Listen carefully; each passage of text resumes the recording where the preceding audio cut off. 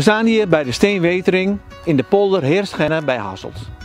Het waterschap wil de steenwetering gaan verbeteren door een aantal maatregelen uit te voeren. We doen dit over het traject vanaf Gemaal Streukelzeil tot aan de Bouwmansleiding. Dit doen we zodat we het waterpeil beter kunnen regelen en dat we beter kunnen inspelen op extreem droge en extreem natte situaties.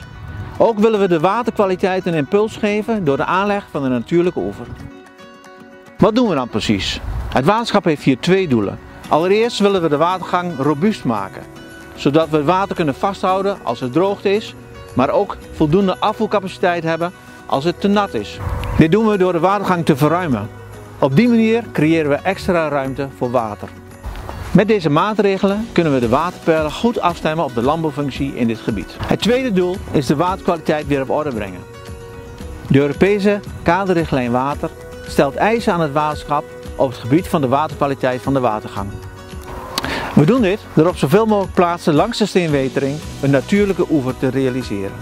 We staan aan het begin van het project en starten we met een verkenning naar de mogelijkheden om die maatregelen te kunnen uitvoeren. Vanaf de start van het project betrekken we u graag. En ook horen we graag van u welke kansen of knelpunten u ziet voor de steenwetering. Daarom nodigen wij u van harte uit voor een digitale bijeenkomst waarin we een toelichting zullen geven op de plannen. We gaan graag met u in gesprek als bewoner en gebruiker van het gebied om samen te kijken hoe we de invulling kunnen geven aan deze plannen. Wilt u meer informatie over het project? Dan kunt u dat lezen op onze website.